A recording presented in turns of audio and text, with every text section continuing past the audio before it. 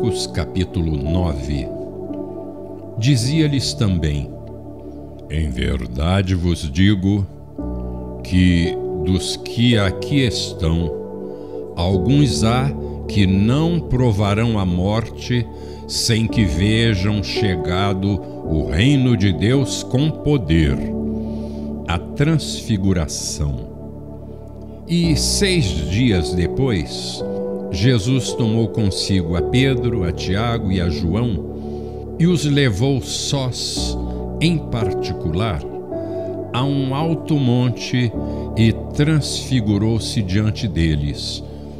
E as suas vestes tornaram-se resplandecentes, em extremo brancas como a neve, tais como nenhum lavadeiro sobre a terra as poderia branquear.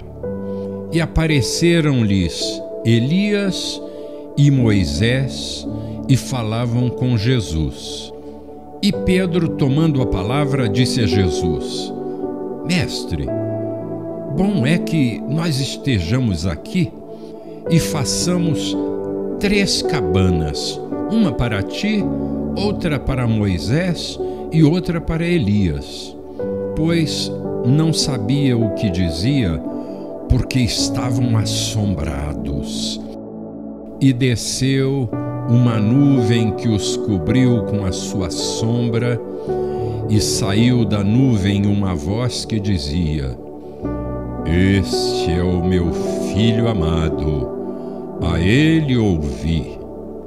E tendo olhado ao redor, ninguém mais viram senão Jesus com eles. E descendo eles do monte, ordenou-lhes que a ninguém contassem o que tinham visto, até que o filho do homem ressuscitasse dos mortos. E eles retiveram o caso entre si, perguntando uns aos outros que seria aquilo, ressuscitar dos mortos e interrogaram-no, dizendo: Por que dizem os escribas que é necessário que Elias venha primeiro?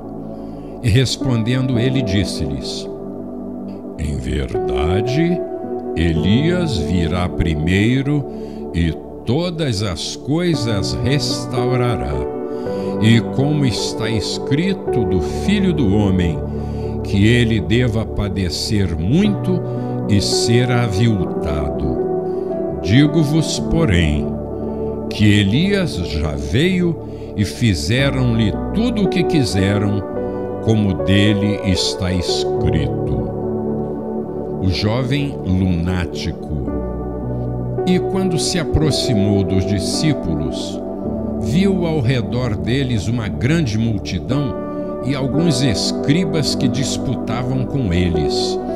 E logo toda a multidão, vendo-o, ficou espantada e, correndo para ele, o saudaram. E perguntou aos escribas: Que é que discutis com eles? E um da multidão, respondendo, disse: Mestre, trouxe-te o meu filho que tem um espírito mudo, e este onde quer que o apanha, despedaça-o, e ele espuma e range os dentes e vai se secando. E eu disse aos teus discípulos que o expulsassem e não puderam. E ele respondendo disse-lhes: Ó oh, geração incrédula, até quando estarei convosco? Até quando vos sofrerei ainda? Trazei-mo.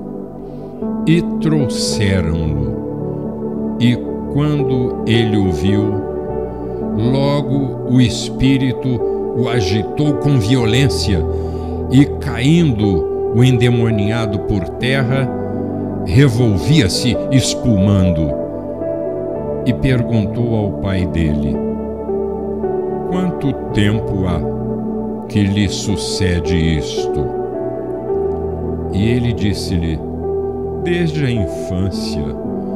E muitas vezes o tem lançado no fogo e na água para o destruir. Mas se tu podes fazer alguma coisa, tem compaixão de nós e ajuda-nos. E Jesus disse-lhe: Se tu podes crer, tudo é possível ao que crê. E logo o pai do menino, clamando com lágrimas, disse: Eu creio, Senhor, ajuda a minha incredulidade. E Jesus, vendo que a multidão concorria, repreendeu o espírito imundo, dizendo-lhe: Espírito mudo e surdo, eu te ordeno, sai dele e não entres mais nele. E ele, clamando e agitando-o com violência, saiu. E ficou o menino como morto, de tal maneira que muitos diziam que estava morto. Mas Jesus, tomando-o pela mão, o ergueu e ele se levantou. E quando entrou em casa, os seus discípulos lhe perguntaram à parte: Por que o não podemos nós expulsar?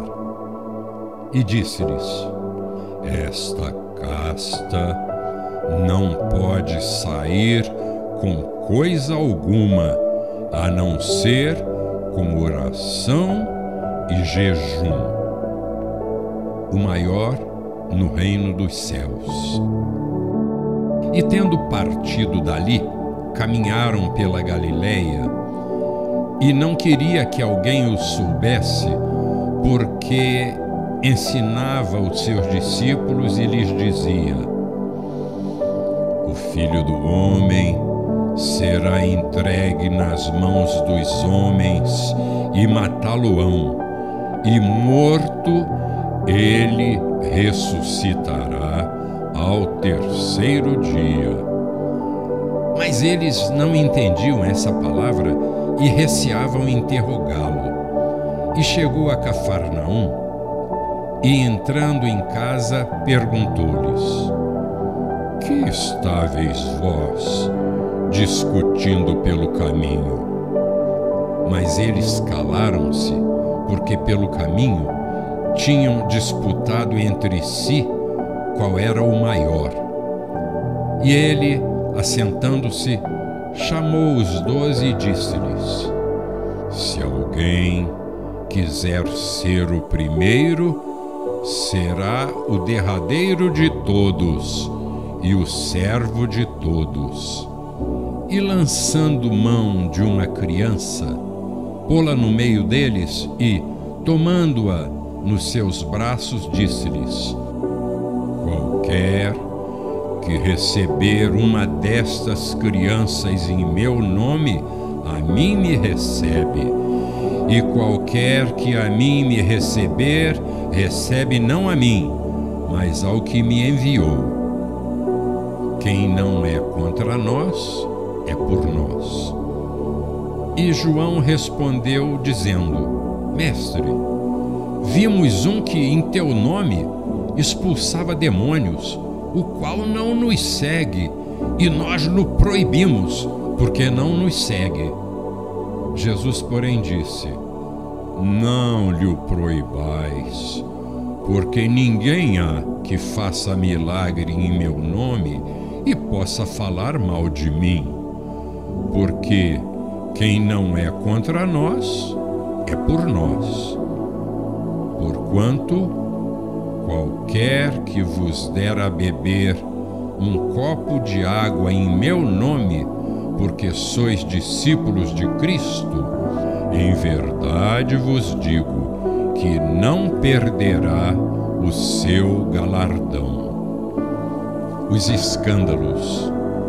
E qualquer que escandalizar um destes pequeninos que creem em mim, melhor lhe fora que lhe pusessem ao pescoço uma grande pedra de moinho e que fosse lançado no mar.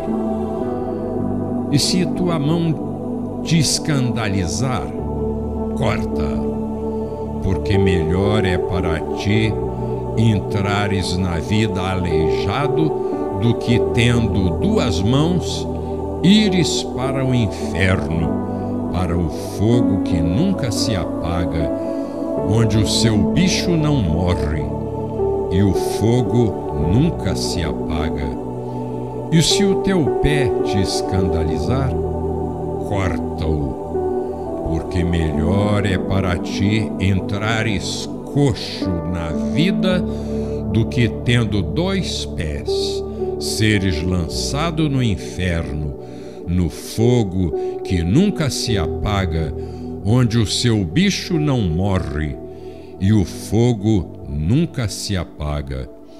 E se o teu olho te escandalizar, lança-o fora, porque melhor é para ti entrares no reino de Deus com um olho só, do que tendo dois olhos ser lançado no fogo do inferno, onde o seu bicho não morre e o fogo nunca se apaga, porque cada um será salgado com fogo, e cada sacrifício será salgado com sal.